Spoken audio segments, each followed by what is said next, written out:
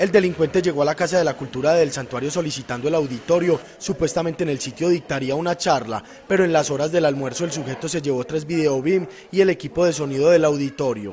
Montó todo, todo el evento de tal manera que no pudiera generar ninguna duda. Nos confiamos muchísimo porque él nos habló con nombres de personas que trabajan con nosotros, que han trabajado antes, saludó muy efusivamente a algunos compañeros y mencionó nombres, pues eso nos generó a nosotros de pronto alguna confianza. Rubén Aristizábal es el encargado de los servicios varios de la Casa de la Cultura y él iba a colaborar en la ficticia reunión que organizó el delincuente, pero se llevó una inesperada sorpresa. Entonces ya me dijo que si yo iba a ir a almorzar a la casa y yo le dije que sí, que yo tenía que ir a almorzar, que para que le colaborara que hasta refrigerio iban a repartir y que si podía colaborar, entonces yo fui a la casa y almorcé y volví, y volví lo más pronto posible, entonces ya cuando volví, ya el, hombre había, nos había hecho el robo aquí en la Casa de la Cultura. Las autoridades investigan debido a que el sujeto encargado del robo había sido visto en ocasiones anteriores en la Casa de la Cultura.